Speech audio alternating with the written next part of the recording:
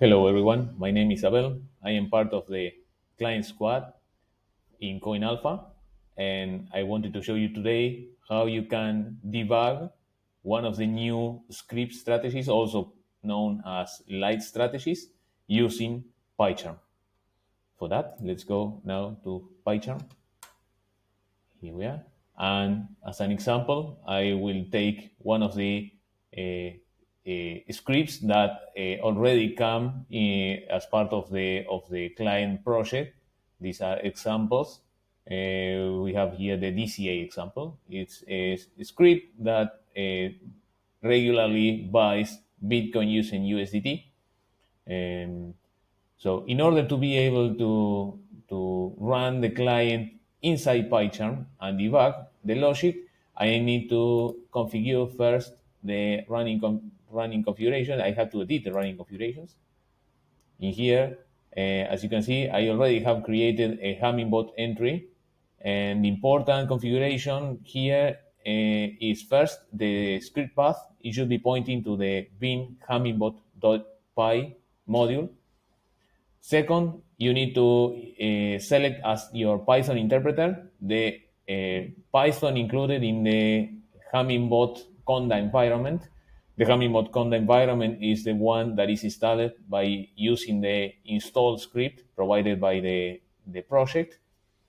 So once you have installed your Hummingbot Conda environment, you, you will be able to select it from here. And uh, lastly, but I think the most important detail is you have to enable the emulate terminal in output console. Without this option active, then the client will not be able to uh, display the user interface in the uh, emulated terminal inside PyCharm. Once we have all the configuration in place, we can proceed with execution. And for that, we can either use the debug button that we have in the taskbar, or we can choose the uh, run from the run menu, the debug Hummingbot option. And here we see that the, the debug console is already started and the client is running. Once the client is running, I just put a breakpoint in any place I want to debug. For example, the onTick method inside DCA example module. I will put a breakpoint there. And I will then start the, the script by executing in the client start dash dash script and then the name of the module, in this case, DCA example.py. You can, can see here on the right side, the logic is running already, and it, stop, it stops in the breakpoint. In the debugger tab, you will be able to access all the, the information or, or and the variables that you have uh, currently in the execution point that, that where you stopped in this case, I am in the inside the script, so I will be able to access all script information inside self. For example, what's the current uh, timestamp, which are the markets I am operating with, and also the active trades.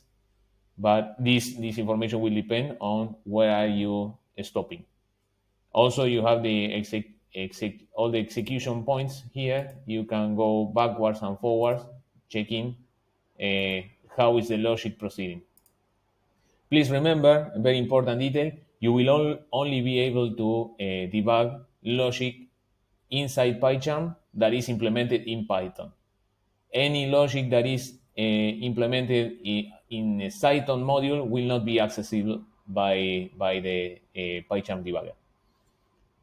And that's it. Whenever you are done uh, debugging, you can just click continue executing. And also you can remove any debug point when you are finished and continue using the client as usual. That's everything for today. Thanks everyone for watching. And remember, please, if you have any doubts or suggestions or uh, you, you need to uh, report any problem, you can find all of us in Discord in Hummingbot uh, in Hummingbot server and there you will also find the, the help of all the community. Thank you very much.